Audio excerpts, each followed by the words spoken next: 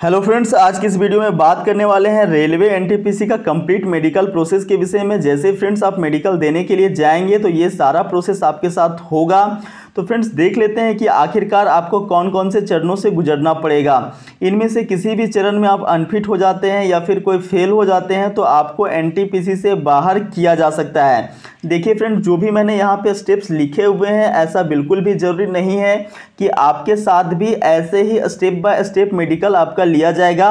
ये डिपेंड करता है फ्रेंड्स कि कौन से चीज़ का डॉक्टर जो है वो पहले मौजूद है, उस हिसाब से आपका मेडिकल लिया जाता है। और फ्रेंड्स ये आप बिल्कुल भी मत सोचिएगा कि आपका मेडिकल जो है वो एक दिन में कंप्लीट कर लिया जाएगा।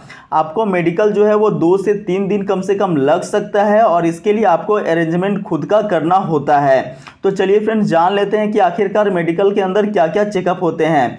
तो सबसे पहले बात करें फ्रेंड्स तो चेस्ट का एक्सरे लिया जाता है। फिर आपका ब्लड प्रेशर चेक किया जाता है यूरिन टेस्ट चेक किया जाता चेक किया जाता है। फ्रेंड्स देखिए, ये सारे जो भी डिटेल मैंने लिखा है यहाँ पे, ये सब के विषय में मैं नीचे आपको कंप्लीट डिटेल में आपको बताने वाला हूँ। बस ये ऊपर में हेडिंग्स हैं, जिसके बारे में मैं आपको यहाँ पे अवगत करा देता हूँ कि ये ये चेकअप किया जाता है। उसके बाद आपका ईयर का टेस्ट फिर फ़िज़िकल टेस्ट हाइड्रोसिल और वेरिकोसिल टेस्ट नेक्स्ट आपका फ्रेंड्स पाइल्स टेस्ट और स्टैमरिंग फिर टीथ हाइट एंड वेट और फिर आई टेस्ट और आई टेस्ट के अंदर आपका फ्रेंड्स कई टेस्ट होते हैं, जैसे कि distant vision test near vision test eye surgery का चेकअप किया जाता है कलर ब्लाइंडनेस का चेकअप किया जाता है। अब फ्रेंड्स मैं आपको एक करके डिटेल में इसके विषय में जानकारी देता हूँ। तो सबसे पहले बात करते हैं फ्रेंड्स, चेस्ट का एक्सरे का। तो देखिए, आपका जो चेस्ट होता है, उसका एक्सरे लिया जाता है और जैसा कि फ्रेंड्स, आपको पता ही होगा कि चेस्ट के अंदर देखिए, टोटल पच्चीस रिप केज होते हैं। बारह आपका लेफ़्ट, बारह आपका दाया दाया साइड में और एक आपका बीच वाला जिससे जुड़ा होता है। तो इन रिप केस के अंदर ये चेक किया जाता है कि किसी प्रकार का फ्रैक्चर तो नहीं है, किसी प्रकार का टूट फूट तो नहीं है, और साथ में ये भी चेक किया जाता है कि उसके अंदर कहीं रॉड तो नहीं डला हुआ है, और आपको आपको वो चेक करेंगे आगे पीछे मुड़वा करके कि भाई कोई दिक्कत तो नहीं है, कोई दर्द या पेन तो नहीं फील हो रहा है। तो मेनली आपका रिप केस के अंदर चेक किया जाता है कहीं फ्रैक्चर या फिर टूट फूट, या फिर उसके अंदर रॉड तो नहीं डला हुआ है तो ये तीन बातों को ध्यान रखा जाता है। यदि आप इसमें फिट किए जाते हैं तो आपको नेक्स्ट प्रोसेस के लिए भेजा जाता है। नेक्स्ट बात करें फ्रेंड्स तो नेक्स्ट जो है वो ब्लड प्रेशर चेकअप किया जाता है। तो देखिए फ्रेंड्स ब्लड प्रेशर के अंदर नॉर्मली 80 टू 120 के बीच होता है और इसके आसपास भी रहता है तो आपको नॉर्मल माना जाता है। लेकिन जैसे आप जाते हैं आप हड़बड़ी में जाते हैं या फिर आ, कोई समस्या के साथ आपको जाना पड़ता है अचानक एकाएक आप मेडिकल देने के लिए पहुँच जाते हैं तो ऐसी स्थिति में बीपी जो है वो थोड़ा सा हाई हो जाता है।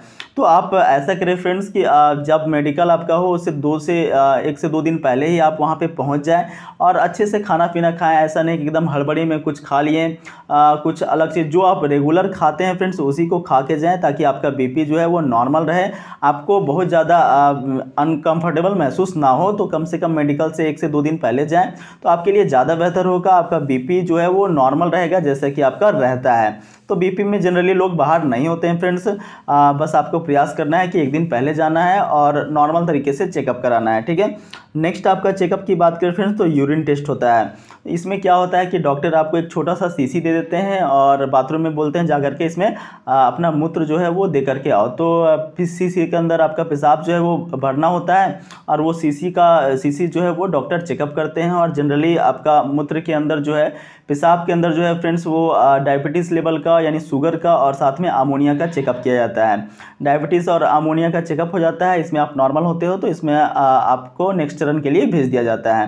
तो लोग इसमें भी जनरली बाहर नहीं होते हैं फ्रेंड्स। उसके बाद, इसके, देखिए यूरिन टेस्ट में बचने के लिए जनरली आपको कम से कम पानी अधिक से अधिक पीना चाहिए और अपने आप को मेंटेन करके रखना चाहिए थोड़ा सा।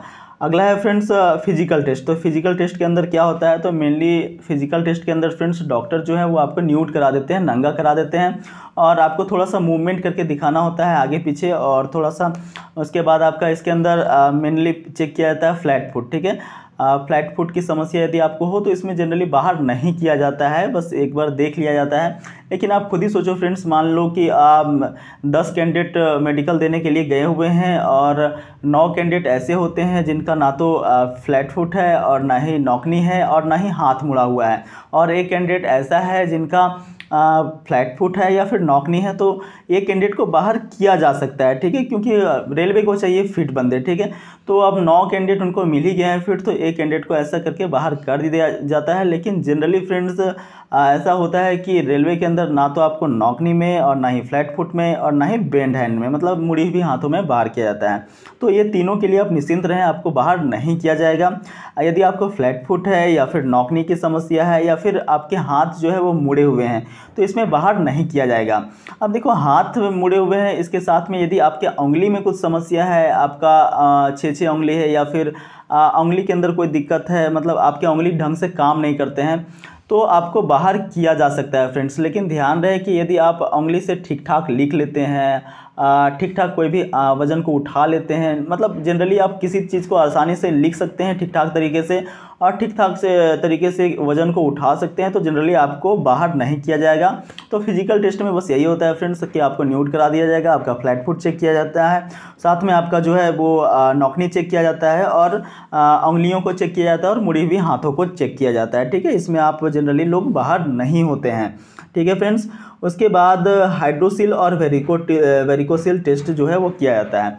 देखिए फ्रेंड्स ये काफ़ी मेजर इशू है। यदि इसमें आ, समस्या होता है तो लोगों को बाहर किया जाता है। लेकिन ध्यान रहे फ्रेंड्स कि रेलवे जो है वो इन सभी चीज़ों के लिए री मेडिकल आपको देती है एक महीने के आसपास। और एक महीने के आसपास आप जब ठीक होकर के चले जाते हैं तो आपको पुनः मेडिकल के लिए बुलाया जाता है और आप फिट पाए जाते हैं तो आपको आ, जो भी आप जिस भी पोस्ट के लिए एलिजिबल होते हैं वो पोस्ट आपको दे दिया जाता है। अब हाइड्रोसिल की बात करें फ्रेंड्स तो इसमें क्या होता है कि अंडकोश के अंदर पानी भर जाता है और पानी भर जाने की वजह से उसका साइज़ जो है वो थोड़ा सा इंक्रीमेंट हो जाता है इनलार्जमेंट हो जाता है, बड़ा हो जाता है। ठीक है? और इसका फिर आप जनरली ऑपरेशन होता है और आजकल तो इंजेक्शन के माध्यम से भी लोग पानी निकाल देते हैं बट ऑपरेशन सबसे ज़्यादा ईजी मेथड होता है फ्रेंड्स तो ऑपरेशन करवा करके इसको आप ठीक करवा सकते हैं। तो फ्रेंड्स टेस्टिकल के अंदर अगर पानी भर जाए दोनों में से किसी के अंदर तो आप ऑपरेशन सबसे ज़्यादा बढ़िया मेथड होगा, आप करवा लें।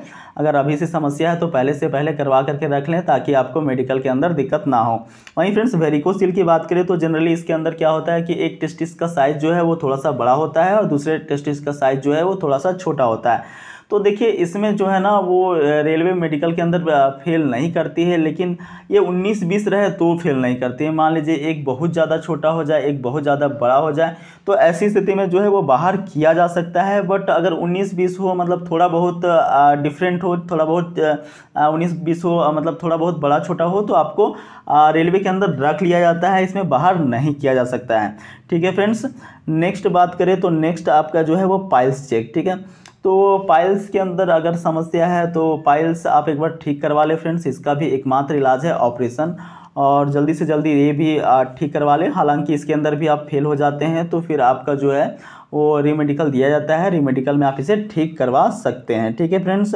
और अब उसके बाद बात करें फ्रेंड्स तो आपका जो है, अब कोई कैंडिडेट फ्रेंड्स, मान लीजिए कि स्टैमरिंग है, हकला करके बोलते हैं तो हकलाने में कोई बहुत बड़ा इशू नहीं है। ठीक ठाक बोल लेते हैं थोड़ा बहुत। तो इसमें आपको रेलवे के अंदर बाहर नहीं किया जाता है मतलब स्टैमरिंग के अंदर लोगों को बाहर नहीं किया जाता है, ठीक है फ्रेंड्स अब बात करते हैं टीथ के अंदर तो टीथ अगर बहुत ज़्यादा उबड़ खाबड़ है, मान लीजिए दो से एक से दो टीथ जो है वो उबड़ खाबड़ है या फिर दांत जो है वो सड़े हुए हैं, तब भी कोई इशू नहीं है। रेलवे इसमें बाहर आपको नहीं करती है, लेकिन अगर बहुत ज़्यादा टीथ जो है वो उबड़ खाबड़ है, चार पाँच टीथ उबड़ खाबड़ है तो उसको आप सही करवा लें, ज़्यादा बेहतर होगा, एक इम्प्रेशन बनेगा, ठीक है?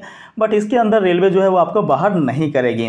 उसके बाद बात करते हैं फ्रेंड्स हाइट और वेट का तो हाइट और वेट के अंदर क्या कोई इशू है? मान लीजिए जनरली हाइट के अनुसार से वेट होना चाहिए। ऐसा जो सेना होता है आर्मी होता है, उसके अंदर ऐसा वेट मांगा जाता है।